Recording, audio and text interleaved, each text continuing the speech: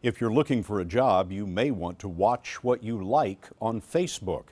Vladimir Duthiers found that employers have a new way to figure out who they're likely to hire.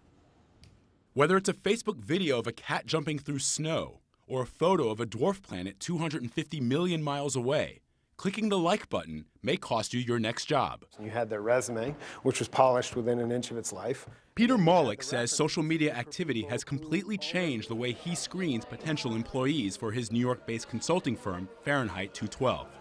The resume, while still useful, oftentimes is so retrospective. So what we use is the LinkedIn, all the social media outlets that are there to give us a more holistic perspective of the individual. Stanford professor Michael Kosinski wants to take the screening process a step further. He uses a computer model to predict personality traits by analyzing what someone likes on Facebook. The surprising thing is that when you combine you liking Lady Gaga, you liking some books, uh, movies, and maybe comments made by your friends, then actually I can extract much more information from that. Based on the 86,000 Facebook users who participated in the study, the model concluded people who like Shakespeare and 2001 A Space Odyssey were more artistic.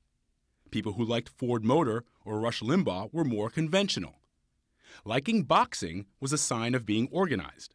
People who liked vampires were more spontaneous. The data collection is being tested through a website called applymagicsauce.com.